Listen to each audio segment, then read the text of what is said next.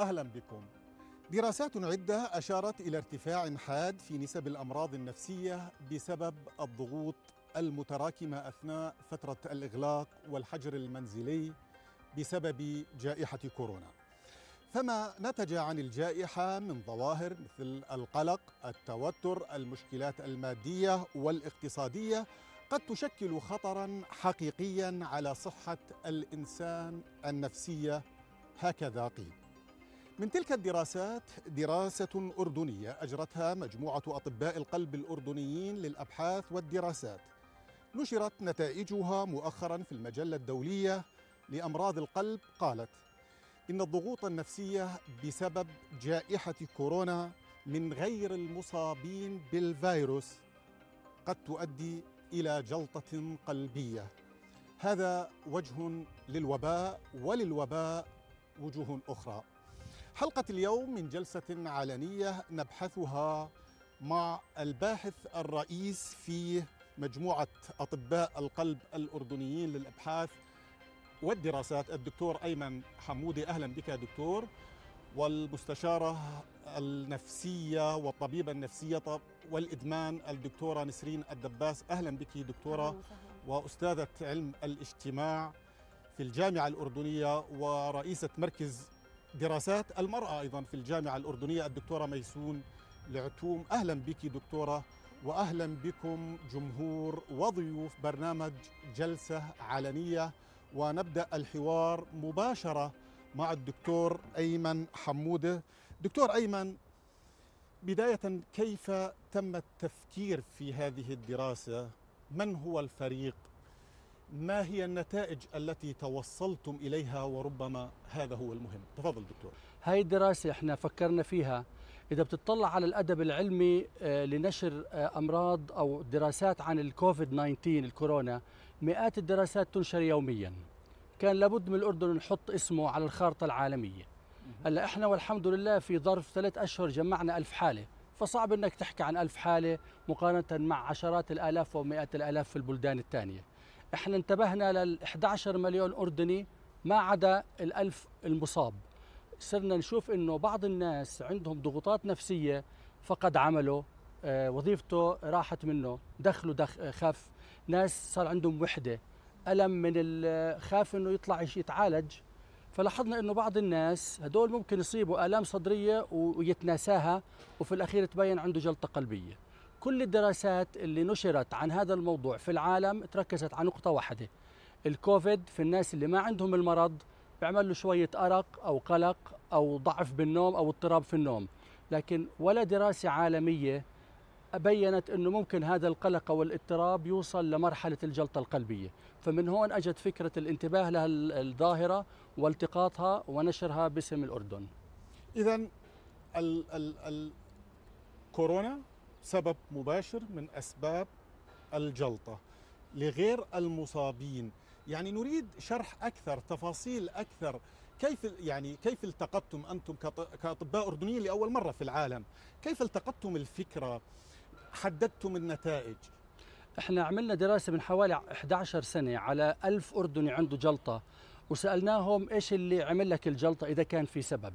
في العالم كله إذا بتجيب 100 شخص من أي بلد عنده جلطة بتشوف 20% فقط بحكي لك أنا زعلت عصبت نرفزت عملت جهد كبير. فهديك الدراسة وجدنا أنه أربعة من عشرة يعني ضعف الرقم العالمي كان الغضب أكثر أكثر سبب. يعني الأردن لما يغضب للأسف شوية بعصب وبتزيد درجة الغضب لدرجة الجلطة. فإحنا التقطنا علامة أنه المرضى اللي عمالهم بيجوا على المستشفيات بجلطة قلبية في العالم وفي الأردن عددهم أقل. ما في مرضى فصاروا الناس يسألوا وين مرضى الجلطات؟ وين مرضى الروماتيزم؟ وين أمراض المرارة؟ وين أمراض الزايدة؟ ما في. الناس بتخاف تروح على المستشفى صارت. فحكينا لابد إنه في خوف لدرجة بعيدة جدا بحيث إنه المريض اللي كان يجي بالجلطة من أول يعني نستغرب إنه بطل يجي اليوم على المستشفى. طب المرض ما راح المرض موجود معنا. فصار أي مريض أول مريض اجى نسأله شو مالك؟ يحكي لك أنا مثلا أنا في الأردن وزوجتي سافرت على تركيا وما رجعتش. من كتر الغضب والزعل والوحدة صابني جلطة. طبيب آخر معروف في البلد ما عنده شغل شعر بالغضب انجلط.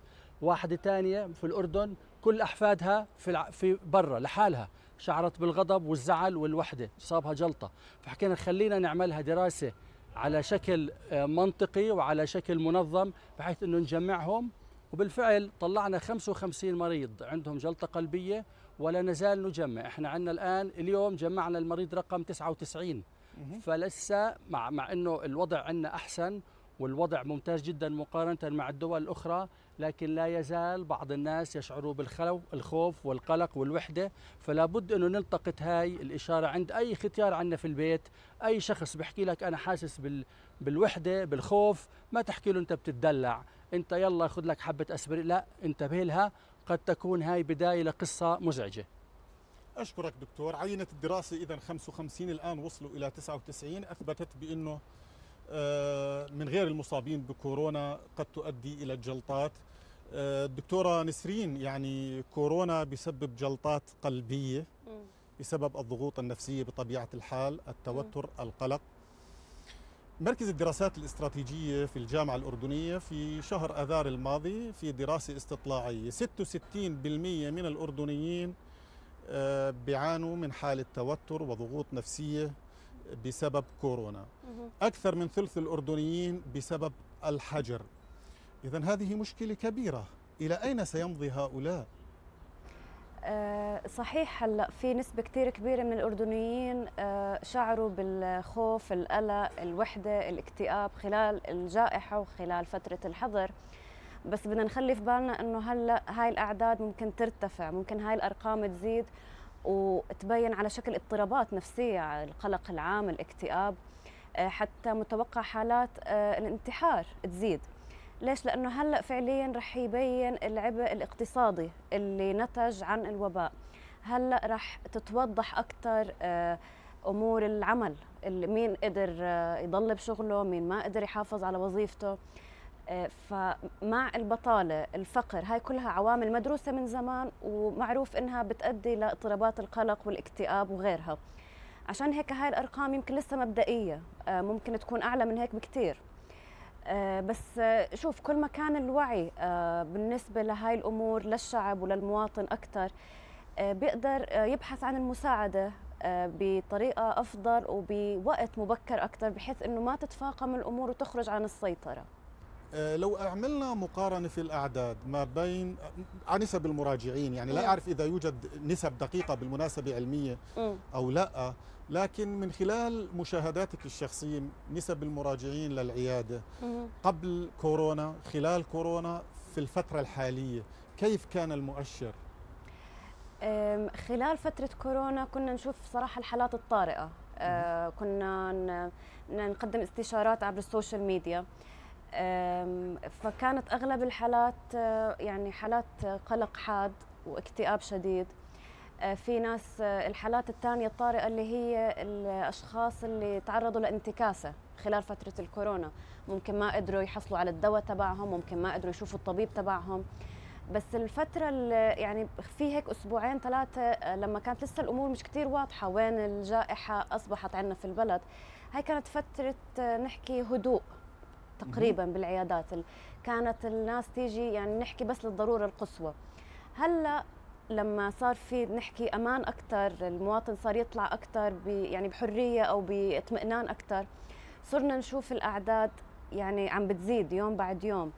آه، حتى آه، نوعية الاضطرابات اللي عم نشوفها هلأ بتختلف عن اللي كنا نشوفها قبل الحجر. آه، المرضى اللي كانوا بيعانوا من الإدمان. خلال فترة الحجر في اللي فجأة انقطع وصارت تصيبه عاد حالة انسحاب حادة من الجسم في مرضى الفصام اللي صابتهم انتكاسات حادة لأنه ما كانوا يقدروا ياخذوا إبرهم الشهرية أو الأدوية. واضطرابات الوسواس القهري والقلق برضه آه، في يعني أعداد زايدة عن المعتاد. مع الأيام أتوقع زي ما حكيت اضطرابات الاكتئاب والقلق هي اللي, راح تكون آه، الأغلبية. اللي راح نشوفها. شكرا دكتورة نسرين. دكتورة ميسون يعني آه، الدكتورة نسرين والدكتور أيمن تحدثوا عن وجه واحد لكورونا وهو الوجه الوجه المخيف ربما. ألم يكن لكورونا وجوه أخرى؟ يعني إيجابيات؟ آه يعني أنا أجد أن كورونا كان له إيجابيات إلى جانب يعني العديد من السلبيات. ربما كان يعني أبرز هذه الإيجابيات هي يعني على الأقل العودة إلى النفس ومراجعة النفس وربما التفرغ لأعمال لم نكن نجد لها وقتا في السابق وإنجازها. وربما كانت هذه متاحة لطبقة معينة أو لفئة معينة فقط يعني ليس لكل الناس. ربما ساهمت كورونا في أن يعني أنا بسميها محو الأمية الإلكترونية يعني نحن كأساتذة وكطلاب كان يعني كنا نعاني من نوع من الحاجز النفسي بيننا وبين بين وسائل التواصل وربما الوسائل التي تستخدم في التدريس. يعني ربما هذه الجائحة أجبرتنا على أن ندخل وندخل بقوة على هذا ونكسر هذا الحاجز ربما. أيضا من حسنات كورونا ربما كان أنها كشفت عن يعني هشاشة الأنظمة السياسية وهشاشة المؤسسات الاجتماعية. يعني ربما لم تتعرى مؤسسات كمؤسسة المستشفى أو مؤسسة المدرسة في دول عظمى وقوية إلا عبر هذه الأزمة. وبالتالي هذا أدى إلى يعني مراجعة يعني ربما مراجعة السياسيين ومراجعة صناع القرار لما يجب أن يكون عليه الحال. يعني هذه هذه الدول يعني اكتشفت أنها مغطاة آه، بقناع زائف من القوة يعني كشفته أو كشفه كورونا وأنا أعتقد طيب. أن هذه إيجابية. آه، دكتور ميسور ربما نتحدث عن هذا الجانب خلال الحوار مع الضيوف والجمهور في في شكل علاقة ما بين الحكومة أو الدولة والمواطن، لكن أنا هنا طالما نتحدث عن عن عن مظاهر تخص المواطن الإنسان بشكل عام يعني كورونا أعادت ربما تشكيل الصلات الاجتماعية بين البشر. آه، تباعد اجتماعي عادات تقاليد. آه، يا ترى هل هذه العادات والتقاليد واعاده تشكيل الصلات الاجتماعية كيف نقرأها ضمن أي متغير؟ يعني أنا أجد أنه يجب الحذر في أن نقول أنه أن يعني حدث تغير اجتماعي، التغير الاجتماعي لا يحدث بين ليلة وضحى، التغير الاجتماعي يأخذ ربما عقود وقرون حتى نلمس أنه فعلا صار تغير اجتماعي وبعوامل آه، وليس يعني وليست جائحة آه، مدتها شهور آه، أو سنة ربما يعني يمكن أن تحدث هذا التغير الاجتماعي. ربما يعني تخلخل في بعض العلاقات أو بعض البنى لكن التغير الاجتماعي بمعناه العميق آه، أعتقد أنها أنا أعتقد أن كورونا وربما معظم الأزمات التي آه، يعانيها البشر كالحروب والأمراض والكوارث الطبيعية. هذه تعيد إنتاج العلاقة يعني بطريقة أخرى. يعني الصلات الاجتماعية والعلاقات الاجتماعية لم تختفي ولم تتغير وإنما أخذت وجها جديدا. يعني في الوقت الذي انقطعت فيه أنا جسديا ويعني بعدت خلينا نحكي فيزيائيا عن الناس أنا اقتربت منهم أكثر من خلال وسائل التواصل الاجتماعي. شكرا لك دكتورة ميسون. اسمحوا ضيوف البرنامج أن نذهب إلى فاصل قصير.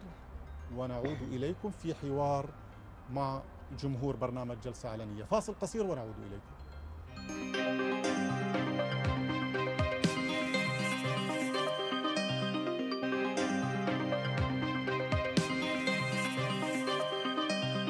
أهلا بكم من جديد في الجزء الثاني من جلسة علنيه نبحث فيها الآثار النفسية لكورونا. الآن سأذهب إلى جمهور وضيوف برنامج جلسة علنية لنأخذ ملاحظاتهم آراؤهم تجاربهم الخاصة كيف أثر عليهم كورونا. يعني آه، هنا ربما آه، معي آه، في البرنامج والدة وحفيدة وجدة كانت لهم ظروفهم الخاصة خلال فترة كورونا. تفضلي نتعرف باسمك أولا ونريد أن تحدثينا عن كيف عشت هذه الحقبة التاريخية إنجاز التعبير. أنا عزيز السواحرة أم لطفلة عندها متلازمة داون الطف... اسمها ملاك الدسيت ملاك عمرها عشر سنين. ملاك ما قبل الكورونا كانت طفلة ناشطة آه، آه، مجتهدة تذهب إلى المدرسة آه، لها علاجات علاج طبيعي وعلاج وظيفي حصص نطق فكانت كثير دائما برا البيت. فمن لما صار كورونا اضطرينا إن نضلنا في الحضر داخل البيت. فهذا الإشي عمل إشي عكسي على ملاك أخرها اكاديميا أخرها في حصصها النطق والعلاج الوظيفي والعلاج الطبيعي. فأنا في دوري بالبيت كأم حاولت إني أعوضها جبت لها معلمة على البيت تعطيها الحصص آه صرت آه أخليها تساعدني بشغل البيت خليتها تطبخ معي حتى إنه ما تضل البنت في مرحلة اكتئاب أو تصل للاكتئاب. آه تشتغل في البيت آه نجتمع مع بعض كأسرة واحدة. آه، نسمع ملاك أنت يا ملك شو اللي ضايقك شو اللي أزعجك شو بدك آه، نشاركها في كل إشي موجود معنا بالبيت. فهون بلشت ملك يعني إشي بسيط إنه تطلع من المرحلة هاي. فكانت تبكي بدها تطلع برا كنت أضطر أطلع شوي على سطوح البيت أتمشى أنا وياها أو نطلع برا على البرندة نمشي أنا وياها شوي. أه صراحة كنت أحيانا أقف عاجزة أمامها ما بعرف شو بدي أعمل مع طفلة عندها احتياجات خاصة. بتفهم إنه في كورونا برا بس ما عم تستوعب شو خطر كورونا عليها.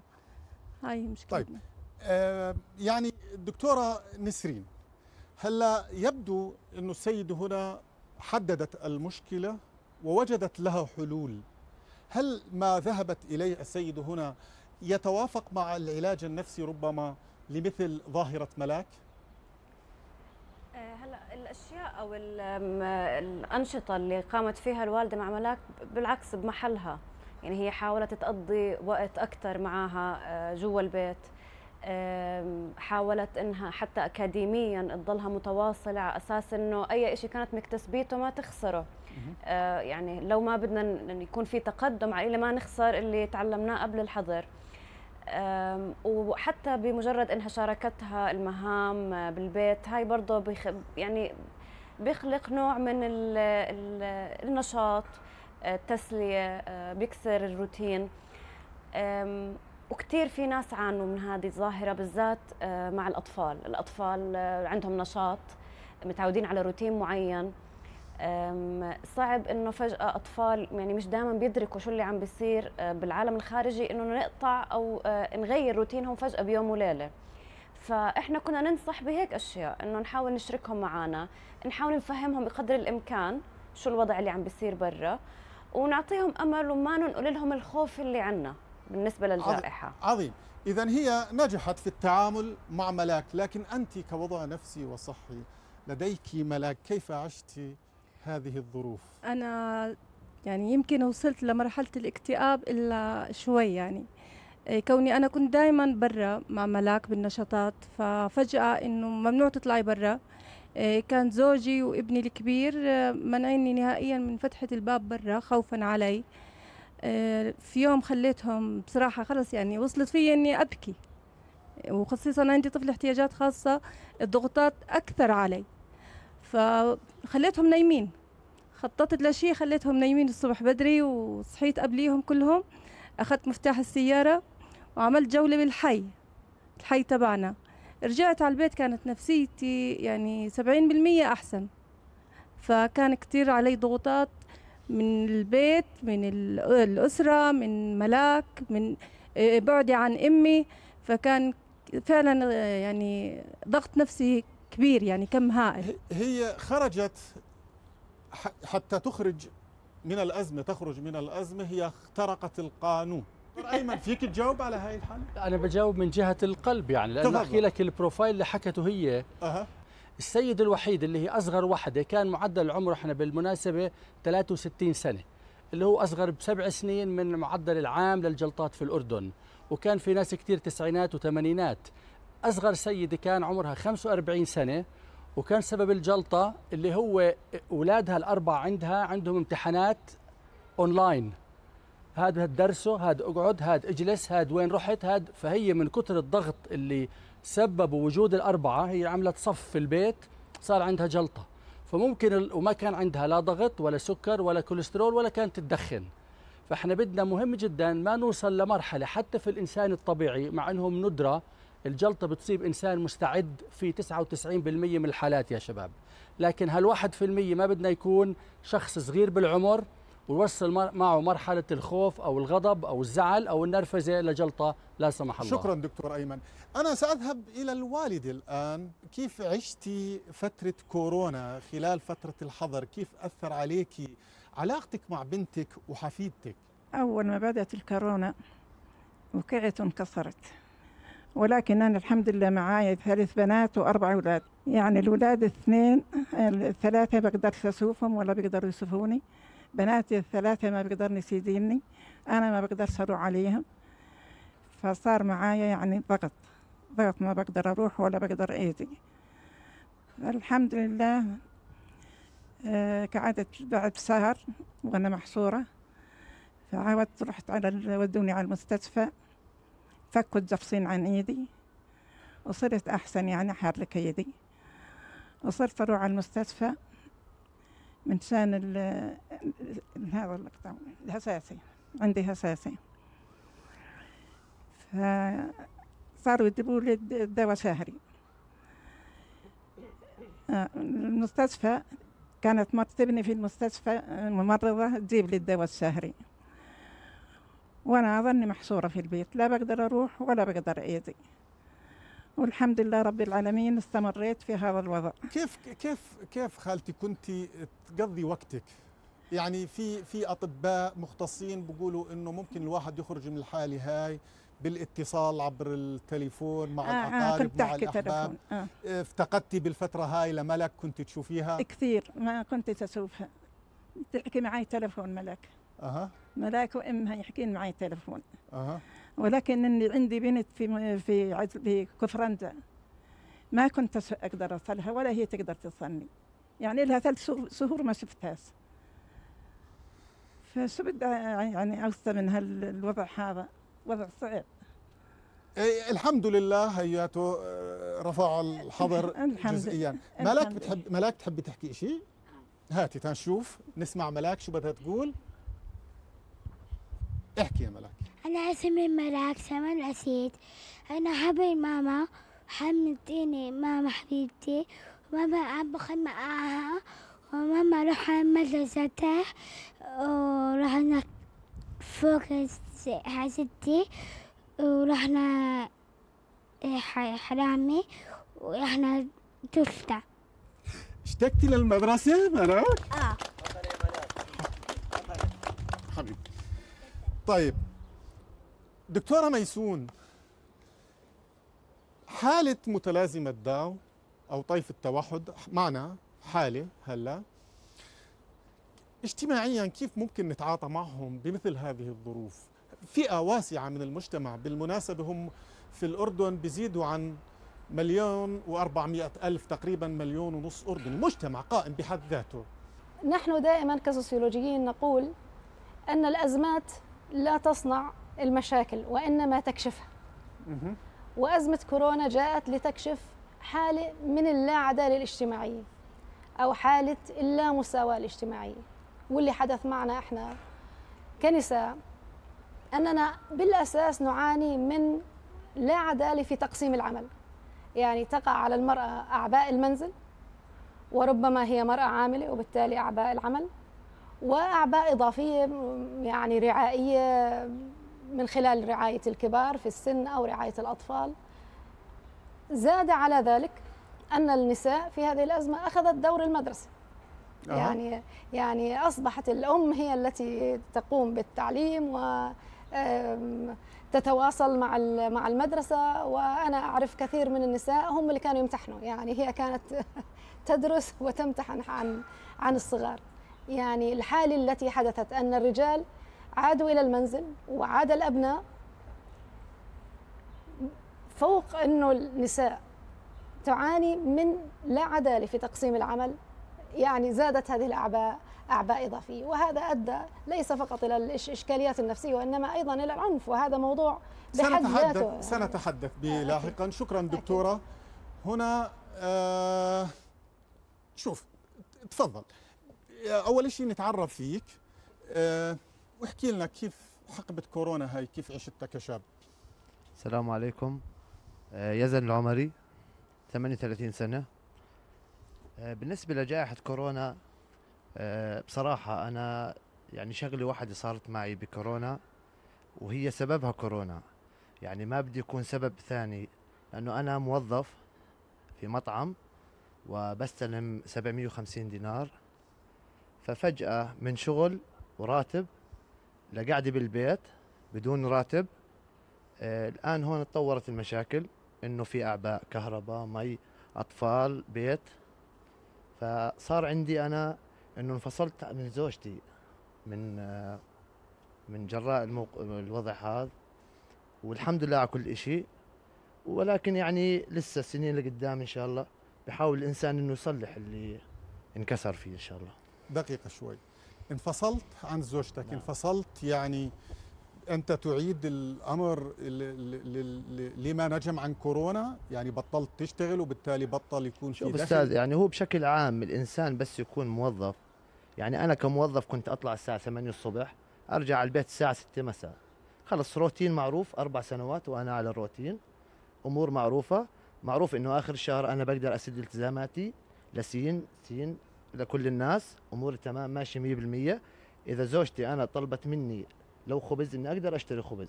بس في فترة أنا ثلاث شهور ومن المناطق اللي انعزلنا نحن فكان ما تقدر تطلع من البيت بالثلاث شهور. وبالثلاث شهور هذول أنا تسببت مشاكل بزيادة إنه أنا بدي بس ما بقدر أطلع أجي. ما بقدر أروح أشتغل ما بقدر أروح ما بقدر آجي. سيارة تنحجز. آه، بنحط بالسجن بصير فوق العبء عبء ثاني.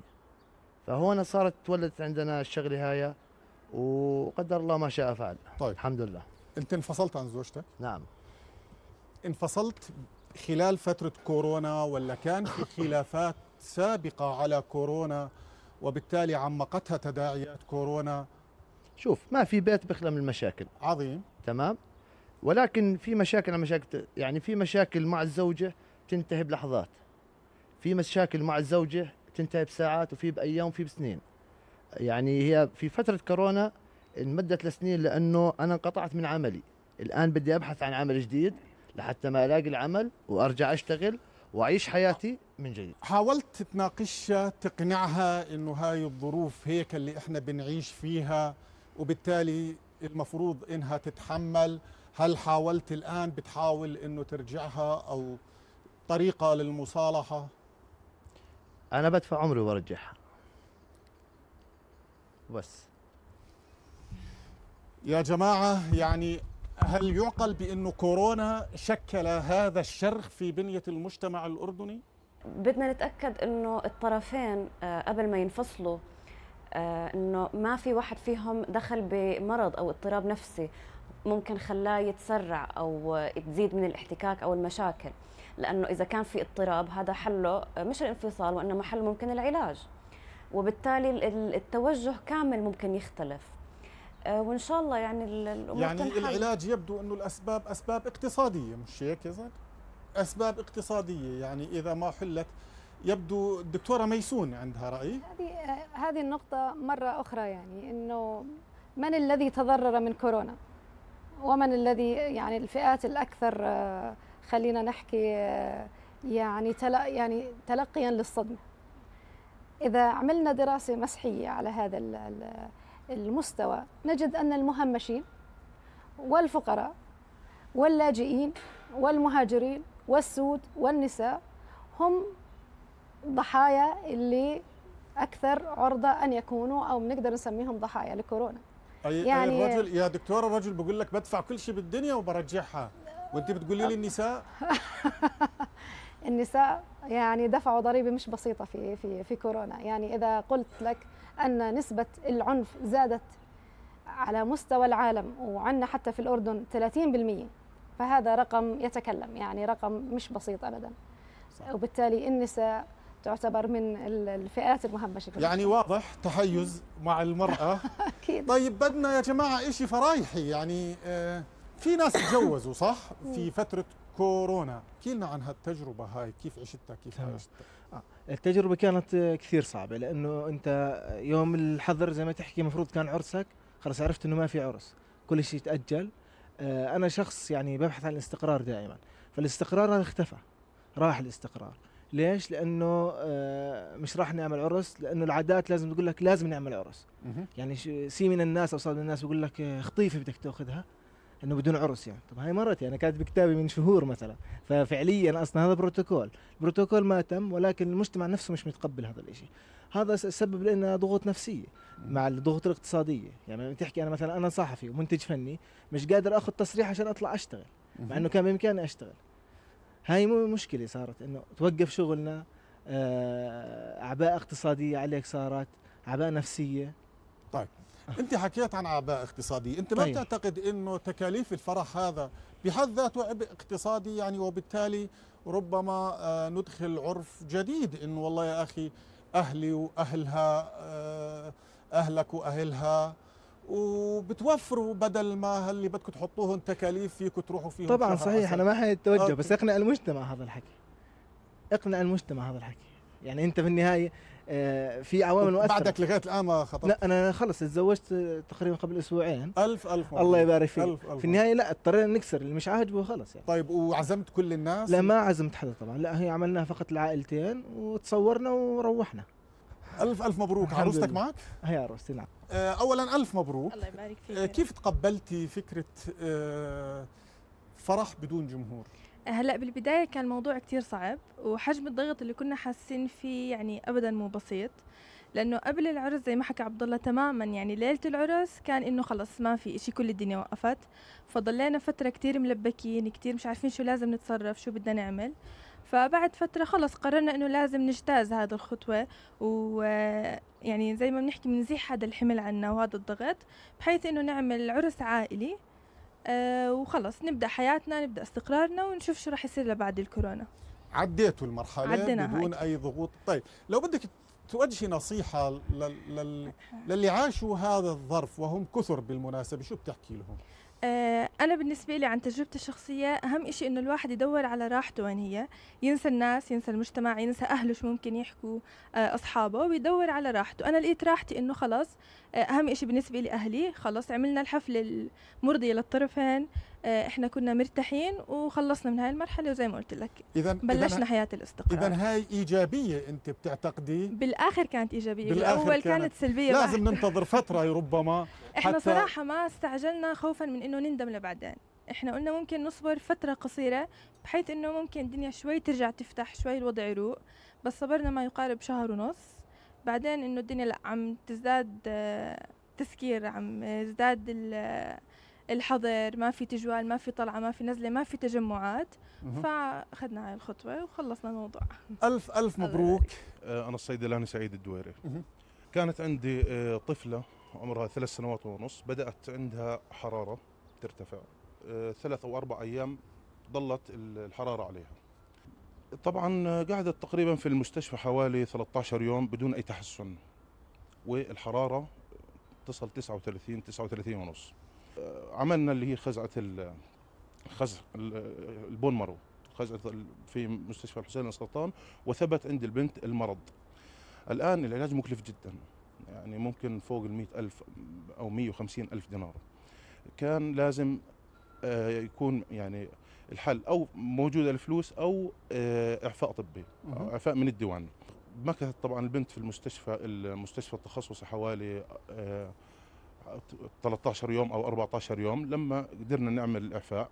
بنف- بنفس اليوم اللي طلعت فيه البنت من آه، المستشفى خلال ثلاث ساعات دخلت في حالة اسمها septic shock ورجعت فيها على المستشفى اللي كانت فيها ومن من يعني من هذاك اليوم دخلت على ال tube وعلى ال ventilator ظلت 24 يوم لحد يعني هذا طبعا من من ثاني يوم الحظر لحد بالتاريخ 9 5 يعني ربنا اخذ ودعتها كيف عشت؟ يعني عمرها ثلاث سنوات حكيت عمرها ثلاث سنوات ونص نعم كيف عشت الظروف هاي؟ يعني كيف الظروف كانت صح. من هذه الأزمة؟ يعني ظروف كانه بصراحة يعني اللي اللي هدى على البني آدم الصلاة بصراحة الصلاة والدعاء هلأ آه أنا كان عندي مشكلة بسيطة إنه أنا أبناء قطاع غزة ويعني معي جواز أردني سفر مؤقت سنتين هي من إحدى الأسباب اللي كانت تأخر آه، كل شيء سواء العلاج لكن آه، طبعا أثرت آه، أثرت بشكل كبير يعني اللي هي يعني جلطة دماغية عابرة بس الضغوطات اللي كانت والصدمات النفسية اللي تعرضت لها خلال ال 50 يوم يعني كويس إنه واقف هون يعني زي. طيب. الله يخليك شكرا شكرا لك عظم. الله أجركم دكتور أيمن المحفزات التي يعني قلق توتر هاي جميعها محفزات الجسم كيف يتعامل معها كيف يستقبلها كيف تتحول إلى جلطة؟ يعني هو القصة اللي حكاها القصة المؤسفة اللي حكاها الدكتور الصيدلاني هي واحدة من المحز المحفزات للجلطة المعروفة في دراساتنا الأردنية وعلى مستوى العالم. موت عزيز. موت شخص عزيز ممكن عند الاستعداد يعمل جلطة قلبية. عند الدكتور عمل جلطة دماغية عابرة والحمد لله. فإحنا عندنا حالات نفس القصة إما موت عزيز أو موت عزيز وما عرف يروح على الجنازة لأنه كان صعب التنقل. إنه ما قدر حد يح- يحضر, يحضر جنازة ابن عمه أو جده اللي بعيد عنه فأصيب بالجلطة. فاللي صار معه نفس الشيء يعني صار ضعف في الترويه الدماغيه لكن الحمد لله كانت فترة قصيرة. هلا كيف أنا حادث اجتماعي بالاخر بخليني أروح على مستشفى وعندي جلطة ويعملوا لي قسطرة ويحطوا دعامه في الشريان. الحالة النفسية بتعمل إشي بسموه زيادة في الأدرينالين اللي في الدم. الأدرينالين هو هرمون الكر والفر. يعني وأنا بحكي معكم لو كنت متوتر بزيد الأدرينالين. واحد بحضر لمحاضرة واحد بنعرض عليه موقف مزعج كورونا خوف إلى آخره. الأدرينالين بيرفع مستواه في الدم بيعمل على رفع الضغط ورفع النبض. فهدو بصير اندفاع الدم بالشرايين التاجية أو السباتية في القلب أو في الرقبة بصير مستوى عالي جدا وهذا قادر على الاندفاع القوي إنه يعمل انسلاخ في بطانة الشرايين. هلأ اللي بطانة شرايينه ممتازه وطبيعية عادي بمررها شوية ضغط شوية آه، نبض آه، خفقان وبتخلص. لكن الإنسان اللي عنده دخان وشوية ترسبات أو ضغط أو سكري أو كوليسترول غير معالج هذا بصير انسلاخ بالشريان جلطة حادة وجلطة. شكرا. دكتورة نسرين تحدث عن عن عن عن أمر ربما مهم الصلاة. قال ذهبت إلى الصلاة. مم. شيك؟ ه- الجانب الإيماني في مثل هذه الظروف آه، كيف نتعامل مع حالات الحزن والفقدان في مثل مم. هذه الظروف؟ نوعية ال- الحزن اللي بتظهر عند شخص فقد حدا عزيز عليه بتختلف آه، أو بتعتمد على عوامل معينة. منها آه، نوع العلاقة اللي بتربط الشخص بالشخص اللي انفقد. يعني في فرق بين علاقة أب في ابنه أو بين علاقة شخص آه، مثلا عم بيعتدي أو بيعنف شخص معين وفجأة آه، المعنف توفى. نوع ال- الوفاة هل هي مفاجئة أو متوقعة؟ الظروف اللي صارت فيها الوفاة. آه، هلا إحنا بهيك حالات آه، ما بقدر أنا أحكي لكل إنسان روح توجه للصلاة أو للروح- للروحانيات لأنه هذا بالأخير اختيار أو آه، قرار خاص. بس الدراسات أكدت إنه هاي دراسات معمولة من زمان يعني مش حديثا. آه، أكدت إنه الناس اللي ال- الإيمان أو الريليجيوس فيوز عندها آه، أقوى من غيرها آه، تتعامل مع حالات الاكتئاب والقلق بطريقة أفضل من غيرها. الاستجابة للعلاج بتكون أسرع وأحسن. يعني في جانب إيجابي من ال- التوجه ال- اللجوء للروحانيات القرآن الدعاء وإلى الأمور الثانية. في ناس آه، بننصحهم بأمور مختلفة. آه، إنه يحاولوا يتقربوا من الناس ال- ال- العائلة الأصدقاء. بحيث إنه الوحدة ما تكون آه، يعني آه، تسيطر عليهم. في ناس بيحتاجوا أمور أك يعني أكثر من هيك يعني ما بيكفي الدعاء والناس ال support system فهون بنحتاج العلاج النفسي سواء كان عن طريق الدواء أو عن طريق العلاج السلوكي. شكرا شكرا دكتورة. آه، وليد ياسين آه، ناشط في حقوق المعلمين في القطاع الخاص ومن مؤسسين صفحة معلمي ومعلمات القطاع الخاص. آه، من خلال متابعتنا للأحداث اللي صارت في آخر فترة وهي أهم كانت اقتطاع الرواتب على المعلمين واستفزاز أو عفوا يعني استغلال أصحاب العمل في اقتطاع هذه الرواتب على المعلمين أدت إلى جائحة اقتصادية على المعلم بشكل كبير جدا. آه، لأنه 30% كانت الحد الأدنى وكان عليه اقتطاعات 40% لا يقل على قرض سكني إلى آخره فصفى من راتبه لا- يزيد عن 10% فهذا أدى إلى توتر شديد عنده.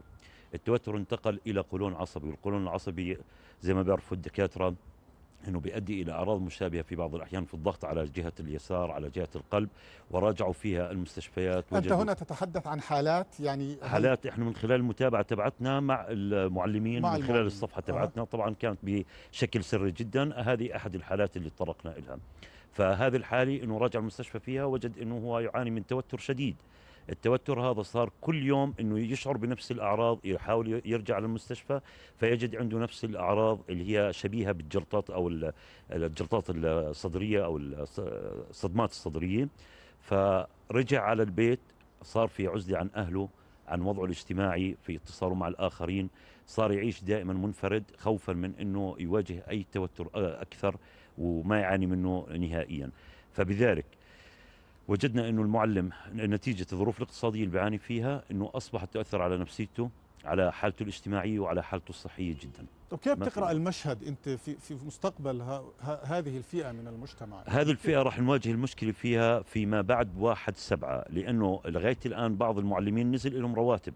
الآن إحنا في 30 ستة انتهاء معظم المعلمين انتهت عقودهم العملية مع أصحاب العمل تبعهم في المدارس.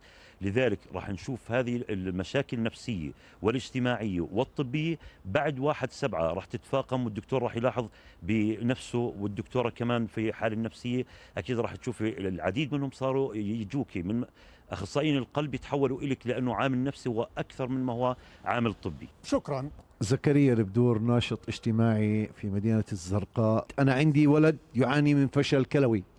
ما عندي غيره؟ هذا الطفل كنت أعاني من مشكلة بال- بالكورونا أعاني من مشكلة الدواء إحضار الدواء له ليه؟ كان في إشي اسمه فردي وزوجي وفي إشي اسمه محافظات لأني أنا محافظة الزرقاء حتى عمان ما بقدر أوصلها. طيب الآن أنا بدي أجيب دواء لابني هذا ابني إذا يوم بوقف عن العلاج مشكلة كبيرة فيه لأنه حتى بالساعة بيأخذوا هذا. فلجأت لناس يعني من أصدقائنا والله يجزيهم الخير يعني بدون ذكر أسماء ناس حتى من قناة المملكة هنا ساعدوني بإحضار الدواء لابني الشهري. الله يجزيهم الخير. وتمكنت إني أنا أوفر له إياه لكن ابني الآن طفل زي باقي الأطفال.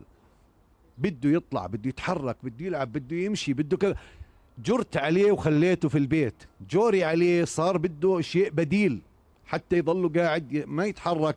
فكان يستخدم الهاتف النقال بالألعاب الإلكترونية اللي عشان بس ما يطلع على الشارع أو يتعرض لأي أمراض لأنه المناعة عنده ضعيفة لأنه زارع كلى والكليه اللي زرعها أصيبت أيضا بفيروس BK.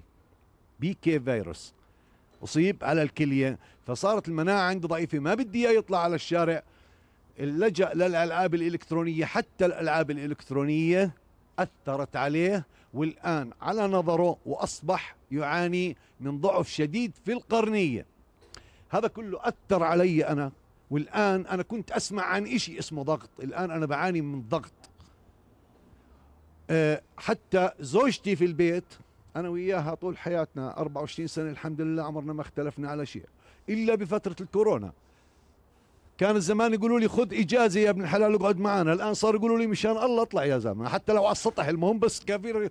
مش قادر صرت أتفشش بالدار والأولاد وبلا يعني أعصابي بطلت ما كنت أعصب كنت دائما أضحك. ما عرفت العصبية إلا بالفترة هاي. سلامته شكراً. لابنك سلامته دير بالك على زوجتك. حالة إيجابية تفضل. السلام عليكم أنا نورة صلاح مرشدة تربوية. هلأ بفترة الكورونا يمكن أنا بعتقد إنها من أنا من الناس اللي تأثرت فيها ايجابا. من ناحية آه، زي ما تفضلت الدكتورة ميسون أنا تاثرت فيها من ناحية إنه اشتغلت على ذاتي أكثر كان في بفترة بداية فترة الكورونا في كتير مواقع مشهورة وبتعطي كورسات أونلاين. ف- طرحت الكورسات هاي for free.